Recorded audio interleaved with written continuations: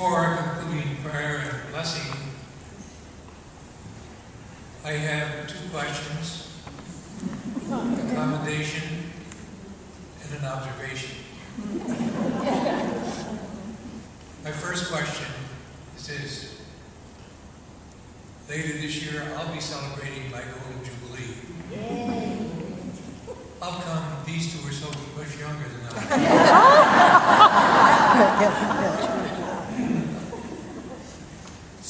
question.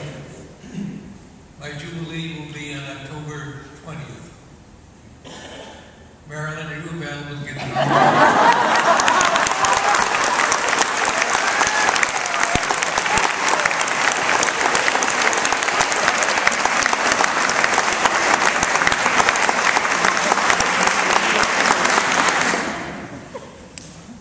My commendation is to our jubilarians for the tremendous selfless sacrifice they displayed today by showing up.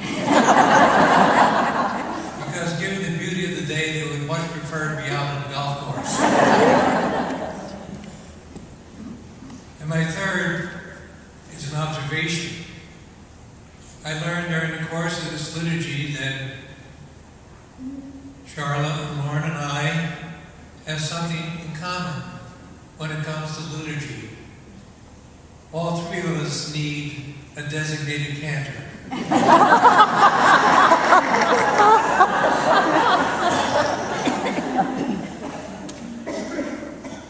I want to congratulate Charlotte and Lauren on their 50 years of splendid service as Sisters of St. Joseph of Carondelet. Each has her own unique gifts, talents, and charisms. And yet, as was noted by Marilyn, their lives have been so parallel. They begin their ministerial career in education. During the mid 60s, they served in the inner city task force during the summer months. I was their supervisor, which meant I did what they told me to do. but I did get even. In the middle of August, I put them in charge of the bus trip to the Catskill Game Farm. It was truly an odoriferous affair. But I think that summer in the city gave them a taste of what it means to be a social worker. And both then pursued that dimension of ministry. We're part of the founding community for Catholic Charities here in Saratoga County. Charlotte specializing as a counselor, Lauren in her outreach to seniors. Both have administrative gifts. Both have served on the provincial team of their community. Lauren full-time, Charlotte part-time. Charlotte became the director of Catholic Charities in Saratoga County and then combined it with one in Washington County. And she has marvelous gifts as a writer as a presenter. And Lauren has become the Frank Lloyd Wright of the Quran.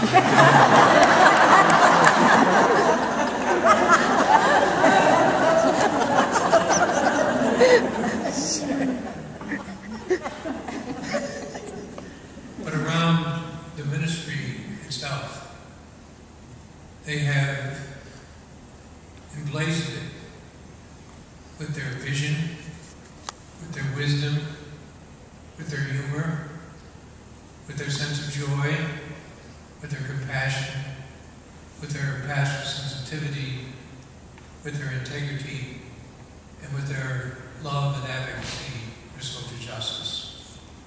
And so I welcome this opportunity today, in my own name, in the name of Diocese of Albany, to thank both of you for the sterling way in which you have lived out a vowed life poverty, chastity, and obedience, and given flesh and blood to the cares of your community, the love of the dear neighbor.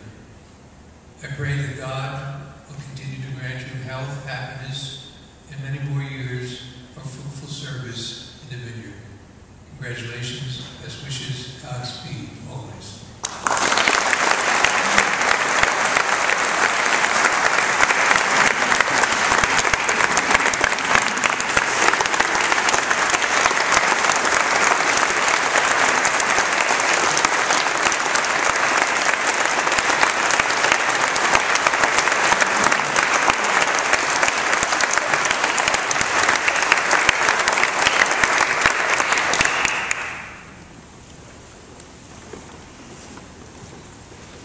Let's pray.